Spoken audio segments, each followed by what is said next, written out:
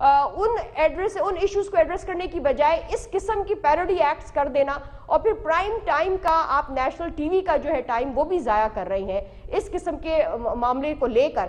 تو یہ پھر جو نوٹس میں کہا گیا کہ اس ان ایتھیکل اور ان پروفیشنل ایکٹ سے ڈیمین کیا گیا ہے ڈیریل کیا گیا ہے ایک سٹیٹ انسٹیٹیوشن کو۔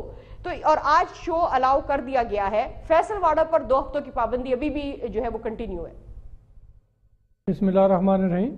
جیسا کہ سب شرکا نے اس چیز کو بہت سخت الفاظ میں اس کی مذمت کی ہے، تو میں بھی یقیناً اسی طرح سے اس کو نہایت جو ان ایتھیکل سمجھتا ہوں، جو مارل سمجھتا ہوں۔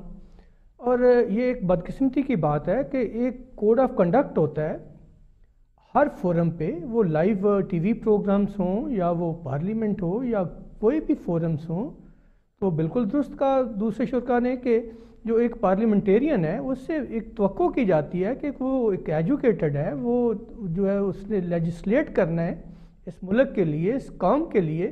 تو جس کے اپنا کوڈ آف کنڈکٹ جو ہے وہ اتنا کمزور ہوگا، تو آپ اس کی سوچ کیا اس سے آپ توقع کریں گے؟